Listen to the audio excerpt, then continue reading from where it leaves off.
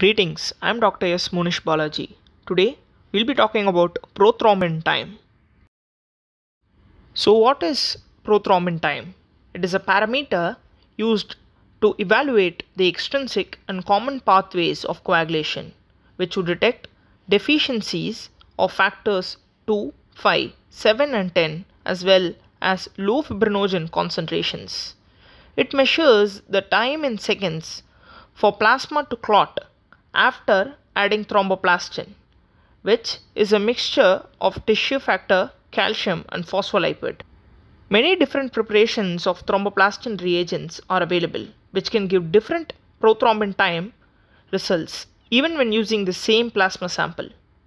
Due to this variability, the WHO has introduced the International Normalized Ratio or the INR, and this has become the standard reporting format for prothrombin time results.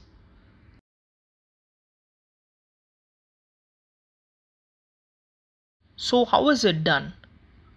The blood sample is obtained through standard percutaneous phlebotomy, and the venous samples thus collected are put in plastic tubes with a light blue top that contains 3.2% sodium citrate.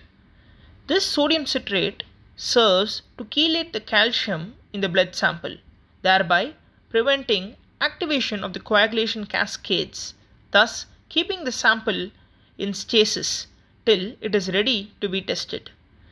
The tube filling must be to within 90% of full collection volume, with the blood to sodium citrate ratio being 9 is to 1. Upon collection, the sample should be mixed gently with the sodium citrate by inversion, which is to be done 3 or 4 times. The tube should not be shaken as this can cause hemolysis, which can lead to inaccurate results. Once the blood sample is ready to be tested, calcium chloride is then added to restore the calcium required for coagulation activation. The samples thus collected should be tested within 2 hours if kept at room temperature or within 4 hours if kept in a cold temperature that is 2 to 4 degrees Celsius. Blood samples for prothrombin time testing are acceptable only if stored for less than 24 hours either at room temperature or at 4 degrees Celsius. Prolonged cold storage at 4 degrees Celsius or lower can activate factor 7 leading to shortened prothrombin time results. The indications for doing a prothrombin time test are 1. Monitoring the patient's status when giving vitamin K antagonists such as warfarin. 2. Evaluation of unexplained bleeding. 3. Diagnosing disseminated intravascular coagulation. 4. Obtaining baseline value before initiating anticoagulation therapy. And finally, 5. Assessment of liver synthesis function and to calculate the model for end stage liver disease, MELD score in liver disease. The reference value for prothrombin time varies between laboratories since different facilities use different reagents and different instruments. However, in most labs, the normal range is 10 to 13 seconds.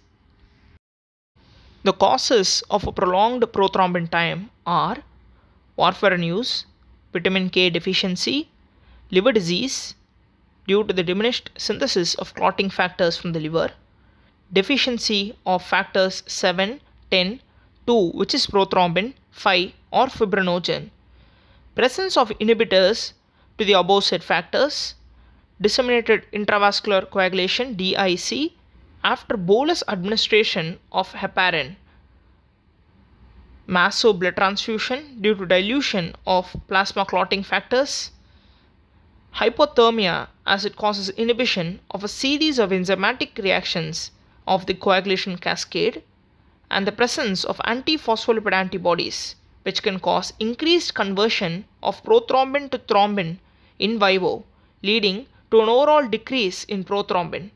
This can lead to an increased prothrombin time.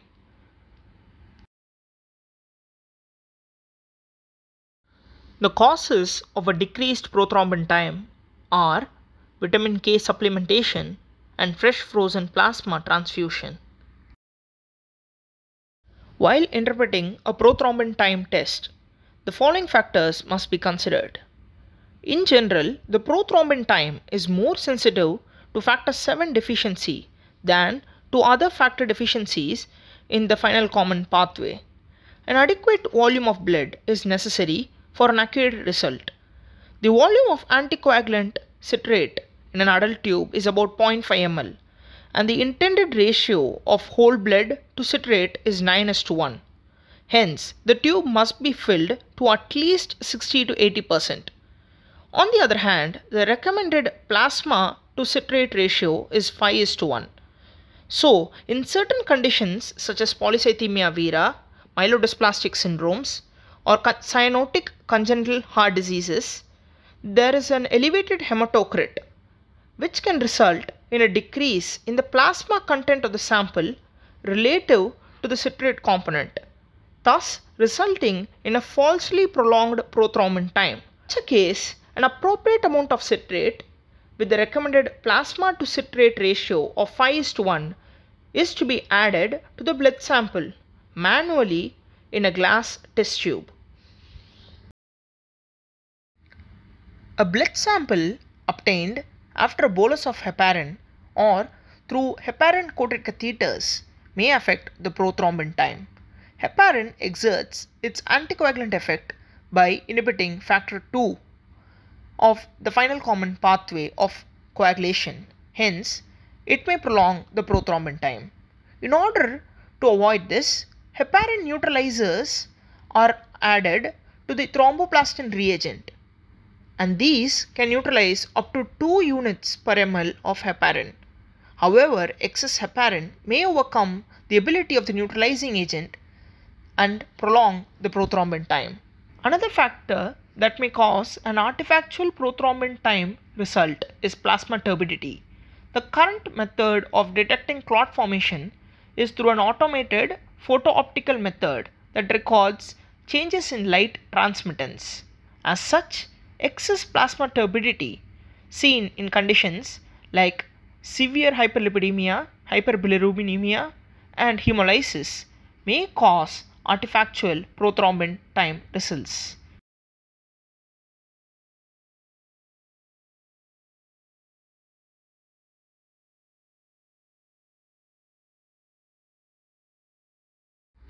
Thank you.